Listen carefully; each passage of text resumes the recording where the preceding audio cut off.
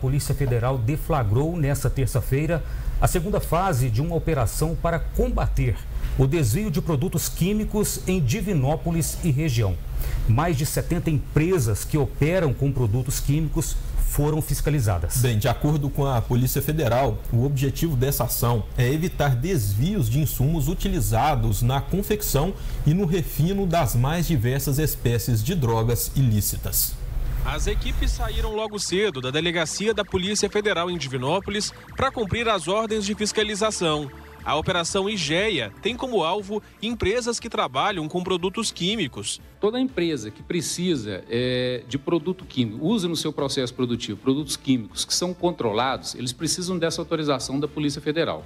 São é, empresas do maior, como diz, vários segmentos, né, indústrias farmacêuticas, é, siderúrgicas.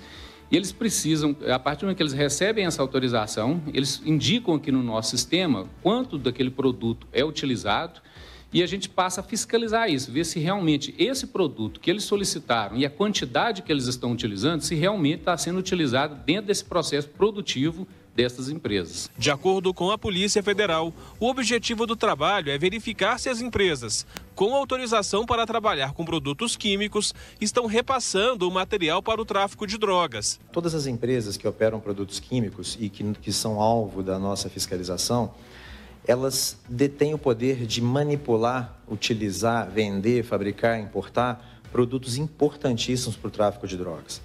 É, o tráfico de drogas, é, se ele não tiver acesso a produtos como ácido sulfúrico, éter, acetato de etila, cafeína, lidocaína, tetracaína e dentre outros, ele não é capaz de fabricar a droga e nem de deixar ela interessante para o seu lucro. Cerca de 30 agentes de Minas Gerais e de Brasília estão participando da segunda fase da operação, deflagrada pela delegacia da PF em Divinópolis. Estão sendo cumpridas ordens de fiscalização aqui em Divinópolis e em várias outras cidades do Centro-Oeste.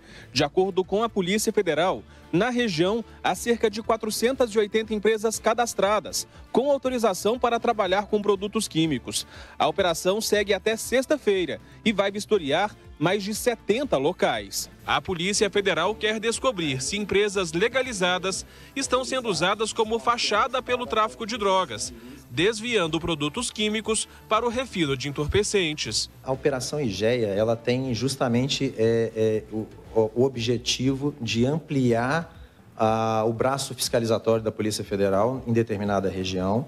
Nós selecionamos as empresas que trabalham nesse ramo a, a, por informações é, de inteligência e também por amostragem, para que a gente possa alcançar o maior número possível e, com isso, gerar um efeito também de prevenção, para que as empresas tenham a ciência de que a Polícia Federal fiscaliza e que é, não há a possibilidade de desvios de produtos químicos para o tráfico de drogas. Segundo a PF, o trabalho em grande escala é inédito na região, mas a fiscalização de rotina em empresas que trabalham com produtos químicos vai continuar a ser realizada ao longo do ano. Quando a gente impede que isso seja desviado, a gente está prevenindo, no caso, a, a, a, produção e essa distribuição de entorpecentes. O trabalho preventivo que a Polícia Federal exerce com as fiscalizações de produtos químicos, ela gera números que a gente não consegue enxergar.